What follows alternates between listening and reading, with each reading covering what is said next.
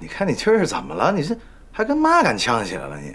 哎呀，九生，你妈一个扫大街一个老太太，不怕呛。翠红，今天有什么事儿堵得慌了？没事儿嘛。啊，妈，来，您吃肉。翠红，有事儿说。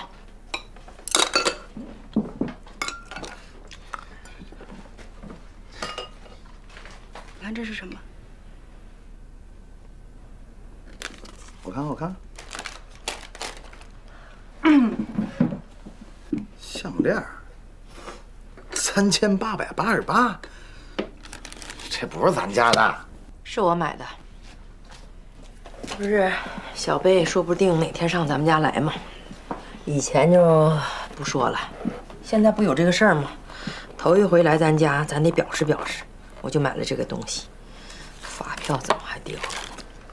哟，白金呐，还有钻石呢，这这这这也挺靠谱的，这个这要戴上得多漂亮！拿一边去！瞎比划什么呀？我长到脖子了吗？脖子是一样的，关键你没钱。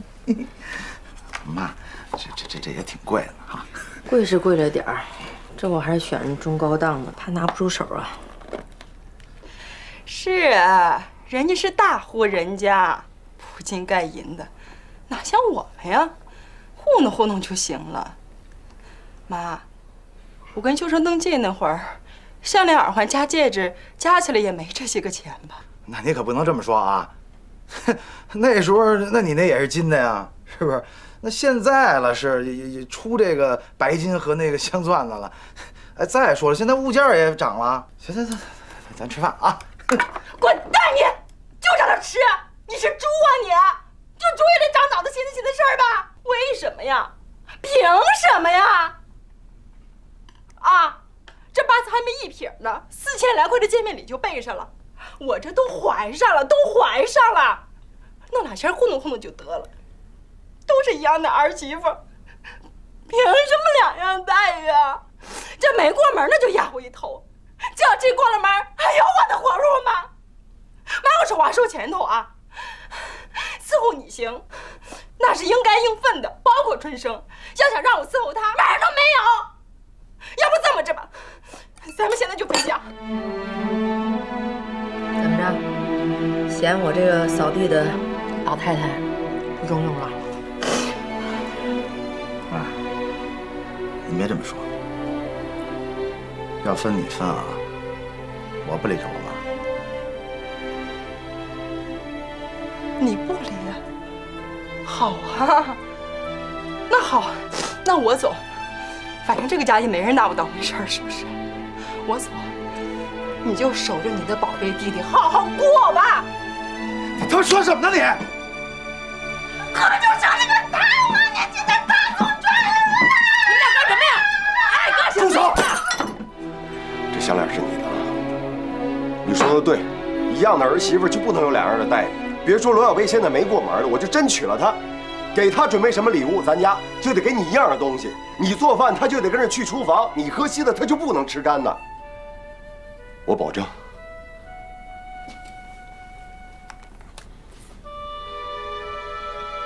芝芝啊，妈没烟了，给我买盒烟去了。翠红啊，来，跟妈聊聊天儿。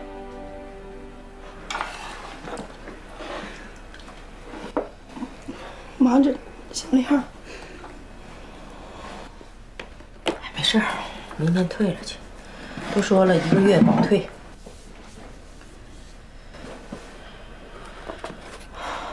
翠红啊，妈这事儿做的不公平啊，心里别记疙瘩啊。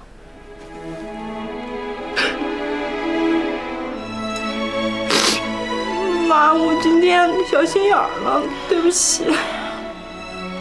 不是小心眼不小心眼的事儿，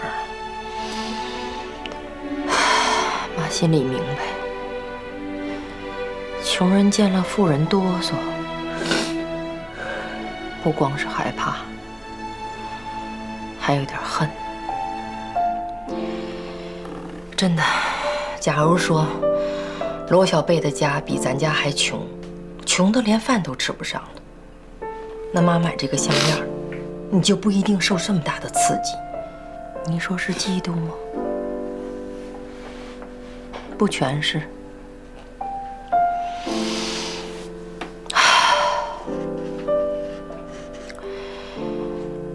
就说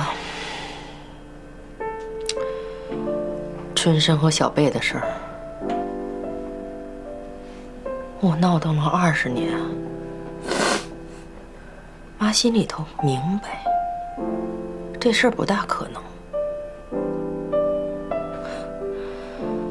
可现在就可能了，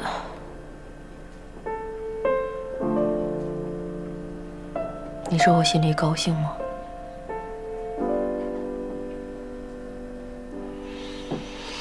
害怕呀，心里头没有底儿。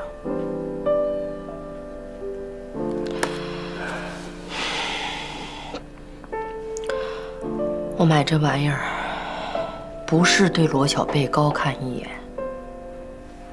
心里头真没底儿。当初你来咱家，我心里头一点压力也没有。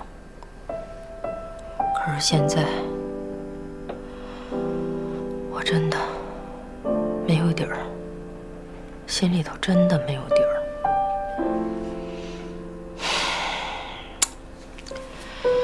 这一天我就想这个事儿哈，是不是我坚持错了？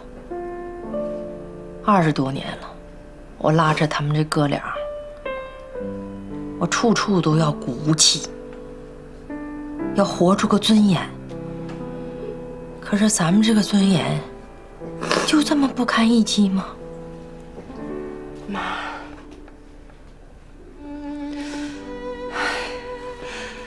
妈，我是不懂您这些道理。讲话了，您是那。没吃过肥猪肉，还见过肥猪走的。我呢，那真是连肥猪圈什么样都没见过。可是我这两天，我这心里也是堵得慌。你说那罗小贝什么样，我还没见着呢。我一想起他来，我心里我就打怵。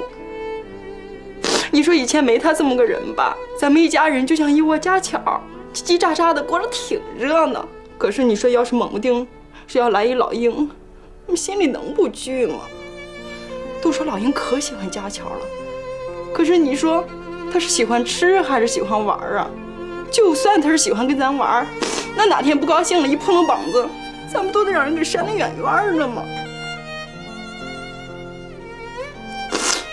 不管怎么说嘛，今天这事儿是我做的不地道。你说我兄弟喜欢，我这当嫂子能不容人家吗？翠红啊，你才是妈的贴心小棉袄。拿块，拿块肉给你吃。嗯，来，妈，你可别哄我了。我自己什么分量，我自己心里很清楚。哎，我呀，就是那个破布衫子，平时扔在那儿没人理。要是外边刮风下雨了，兴许能想起来皮皮。